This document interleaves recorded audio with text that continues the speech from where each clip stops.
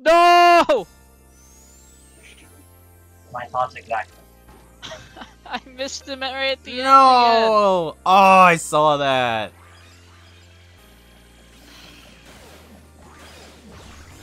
Spectre, also known as Seizurific Silk Pants. Yeah, I'm...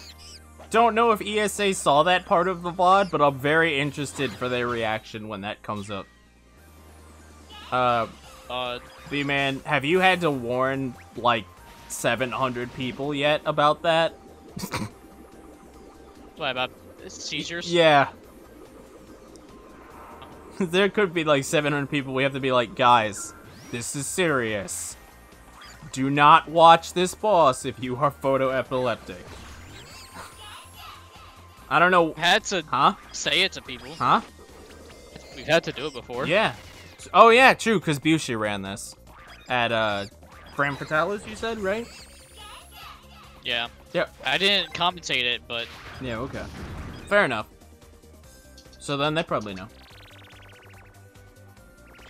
I mean, still, Oh, yeah, definitely say it. Definitely say it. you, you definitely have to tell them. Yeah. It is, it, it is a health hazard if you do not. You would know that if you had the actual game and read the, uh, the hazard thing that starts at the start of the game. Also, I don't think that says anything about, uh, photoepilepsy. But then again, I think this is the one game that warrants a photo epilepsy warning. Because, you know, every video game from the 2000s had that warning in it. What, what VOD and when? Do exclamation ESA. Regi. You're already dead? I'm dead, clowns. I'm dead inside because B-Man beat all of my good times, and he left me with the bad ones.